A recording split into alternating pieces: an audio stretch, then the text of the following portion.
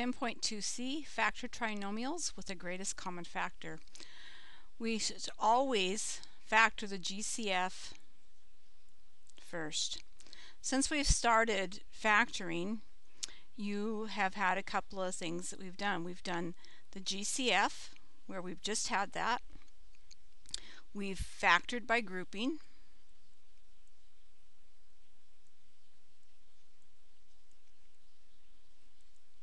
And then we factor by trial and error or the reverse FOIL. Okay, now we're going to add greatest common factor back in with our trial and error. So we want to get in the habit of when we look at a trinomial, we'll always want to look for a, a, common factor before we do anything else. So in example one here, if I look at my numbers, I have an 18, 21, and 15, and I notice that that means that we have a common factor of 3. I notice that they all have a factor of x. And my lowest exponent for my x is 2, so that means my GCF is 3x squared.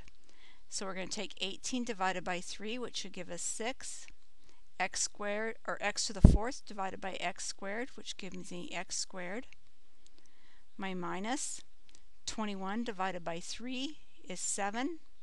x cubed divided by x squared is x. Another minus 15 divided by 3 is 5. And x squared divided by x squared is 1. So now that I have that done, I need to look at my trinomial part of this to see if I can factor that again. Always go ahead and write down the greatest common factor and then go ahead and put your two boxes. 6, well, I'm thinking that's going to be 2 times 3, and 5 is just going to be 1 times 5. So let's put in 2x and 3x. We are subtracting our factors. So let's see. I don't know. I'm just going to put 5 here and 1 here. So let's see. We're going to get 2x minus 15x. That's going to give me 13, not what I need. So let's try it again. Let's exchange places with my 2 and 5. So we'll put, I'm not to my 2 and 5, 1. Let's make that a 1 and 5.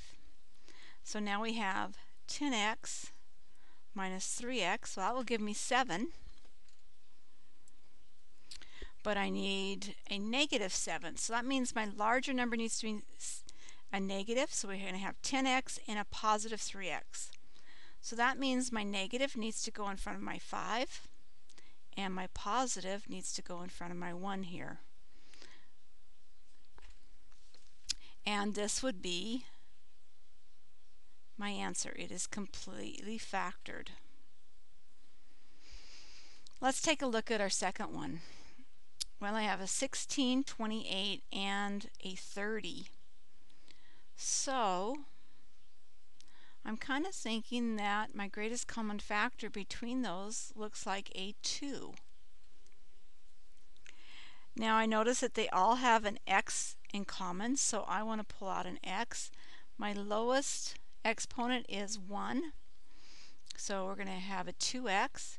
That's going to leave me with 16 divided by 2 is 8, x cubed divided by x is x squared, 28 divided by 2 is 14, x squared divided by x is x, we're going to still have a y.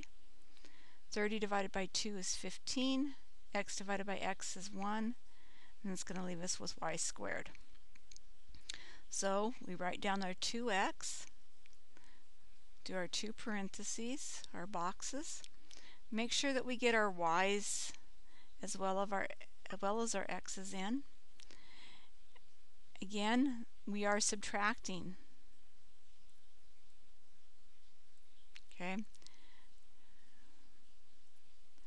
So, when I look at my 8, I'm thinking 2 times 4. And 15, 3 times 5. So let's put those in. It's 2x and 4x and a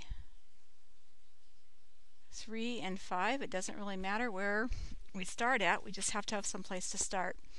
We're again subtracting, so we've got 10xy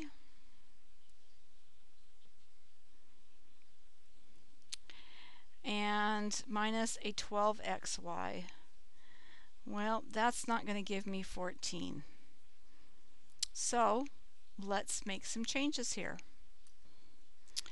We want to exchange our 3 and 5, so let's put 5 here and 3 here.